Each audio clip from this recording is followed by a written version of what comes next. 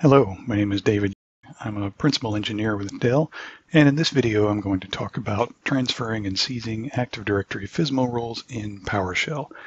If you've been working with Active Directory for any amount of time, you most likely know how to transfer and seize FSMO roles using the AD GUI tools or the old NTDS util method. Um, but PowerShell can actually save you some time and effort in some situations, and I hope to illustrate that here.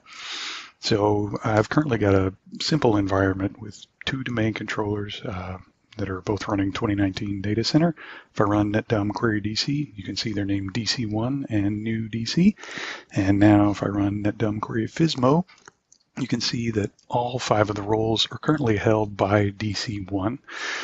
So the command to transfer FSMO roles in PowerShell is rather long one. Uh, it's move-ad directory server operation master role. There we go. And as you can see, tab completion is your friend here, as it often is in PowerShell. Uh, command requires a couple of switches. The identity switch is used to designate the destination domain controller, so the one that you want to move the role to. Here we'll specify new DC. And then, of course, we have to specify what role or roles we want to move. And you, we'll just tab through the, the roles here so you can see how they're designated in PowerShell. There's domain naming master, uh, infrastructure master, PDC emulator, RID master, and schema master. And let's say we want to, to move the RID master to new DC. So we'll tab back to that and press enter and it will prompt you to confirm say yes, hmm. and it's an almost instantaneous process. And we can confirm that it worked by running netdom query FSMO again. And now we can see the RID master is held by new DC. All the other four roles are still held by DC1. So let me just move that back real quick. Just change the destination and confirm again. Now, what if we want to move more than one role? Let's say, for example, we want to move all five roles to one DC. This is where PowerShell can save you a lot of time and effort.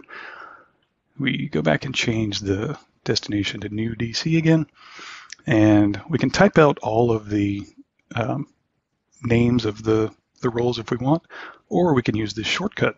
There are, in fact, numeric designators for all five roles.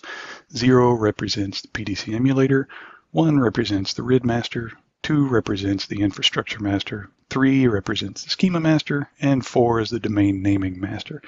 So if we want to move all five roles, we can simply type 0, comma 1, comma 2, comma 3, comma 4. And it will prompt you for all of them. You can say yes to all if you don't want to respond to every single one, but I figured I would just show you all five of the prompts here. So I'm just specifying yes for each one. And just like that, it's done. We'll confirm it again with netdom query FSMO.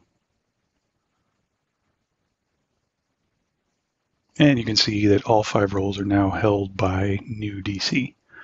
So that's transferring FSMO roles in PowerShell.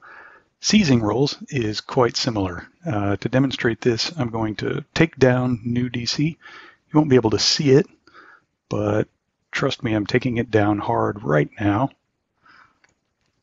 And there it goes.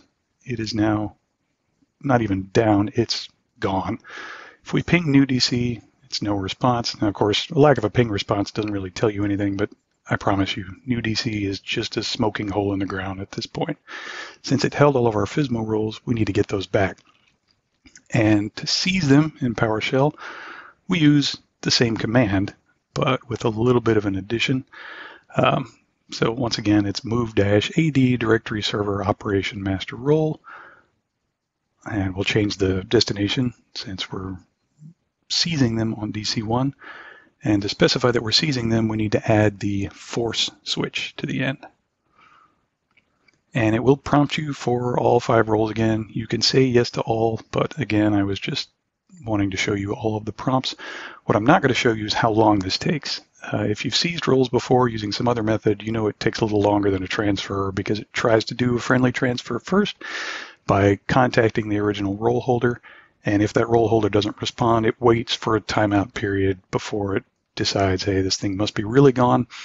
Uh, that timeout period appears to be about a minute and a half. Uh, I don't know that exactly, but that's what I've seen in my experience. You don't want to sit here for a minute and a half times five just watching this go. So I'm going to fast forward a little bit. Uh, just keep in mind that this that seizing normally takes quite a bit longer than you're going to see here. So there's the second prompt for the RID master. And once again, about a minute and a half. Third prompt for infrastructure master.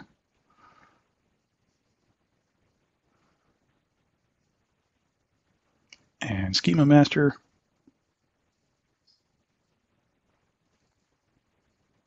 And finally, domain naming master. And they're all done.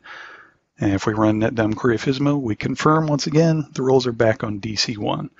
So that's transferring and seizing FSMO roles in PowerShell. Once again, I'm David, and thank you for watching.